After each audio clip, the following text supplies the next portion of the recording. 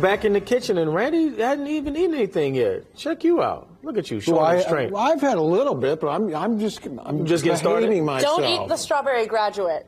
That, Please I- don't. That looks Isn't so that good. so It adorable? Really, really good. I see the donuts around it too. I'm gonna turn those into strawberry shortcake, Magnificent. which you can see right here. Like there's, Oh, a, yeah, but it's very easy. I think everyone's gonna appreciate the ease of this. Mm-hmm. And also, as we get into you know graduation party season, summer barbecuing, these are some great ideas on how to do some easy make ahead dessert type options that use fresh fruit, strawberries. Love it. Love it. Where you want to Yeah. start?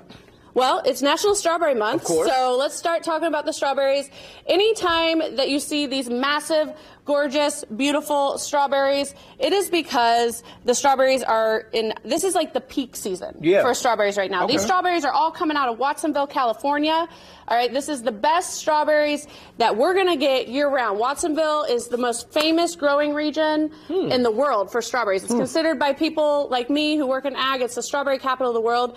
And right now, they are in the peak abundance of strawberries. So if you haven't put some in your grocery cart, now is the time. So okay? I suppose you have to wash those too, right? You Before must yeah, wash. yeah. I, I recommend you wash all your produce. Unless the packaging says washed and ready to eat, then of course you don't have to. Right. And the only way that you need to wash your produce is cold running, running water. water. That's all that you need. It removes over 99% of I've, any I've been pesticide soap on residues. there. Soap, huh? No, don't do that. Oh, Don't oh, do that. We have an entire blog on theproducemoms.com mm-hmm. on how to properly wash your, your fruits and vegetables. And we brought in um, a food scientist. She has a PhD. She's like world renowned in this area. So please read that blog and you'll be amazed. It's just cold running tap water does the trick, okay? No, no soap, Andy. No soap needed. None of those. for years those there. produce washes, they're all gimmicks. Okay.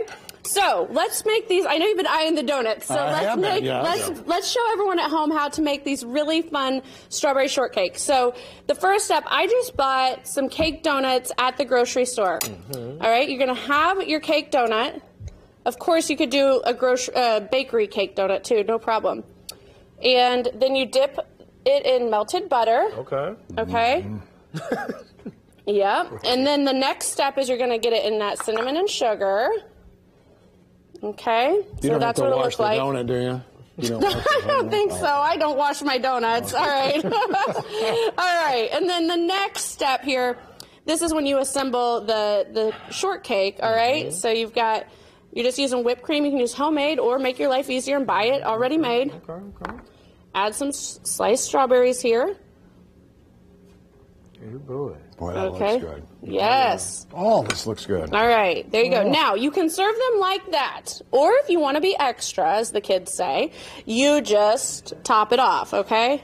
Put that on top there. Yep, and I'm going to put just a little bit more whipped cream so that the top stays on. And then you've got your little your little donut slash strawberry shortcake, and that is such a great, entertaining grab and go treat, and it's also super fun for, and it's something kids can do in the kitchen, you know. So Yeah. it's it's a lot of fun. All right, now like. Okay, well, we've oh. got time to do the wraps. Yes, I'm we do. hoping. Yes, we do. Yep, yep, yep. This is truly one of my very favorite recipes on theproducemoms.com. Mm-hmm. Are these really fun fruit wraps? We've done them. We have different. We have all different uh, flavor combos, Mm-hmm. but with the strawberries, it's strawberry, fig jam, and brie cheese. So it's Okay. really like think if you like charcuterie boards, think this is like a little charcuterie snack. Okay. Okay. All right. So the first step, you get your burrito size tortilla. So we're Uh-huh. using flour tortillas here. Okay. And then I've got thinly sliced brie cheese, and we're just going to lay that down. I've never had brie. We brie have about cheese. one minute there, they said, so I know Oh, we no worries. I got know- this. know what Yeah. you're. All right. was a pro. Next, we are going to add the sliced berries. Okay. And then this is the best part. Then we roll it up. We'll go this way so that the cheese doesn't get all nasty and c- complicated. I've never had brie right. cheese. How, how would you say that? that? Oh, How do you it's so, it's a soft cheese. It's amazing. Oh. All right, so you can make this ahead, store it like this, and then when it's time to serve, you just slice it into these little fun pinwheels. Mm. Okay, and there you go. And you can put a toothpick in it, like we have here on the display Yeah, table. Yeah. And that is another really fun idea on how to entertain. Just make sure this brie cheese is safe. I just want to make sure. I'm going to eat a strawberry. Sure, This donut's Hmm. okay. Uh, George, I think it's safe to say the brie cheese is safe if you want to try this later. Just in case you want to try it. Donut's okay, too. That was What do you okay? think? Mm-hmm. Good. I don't know if that was a mystery to you, Randy. I think, I think you got it out the gate. Yeah.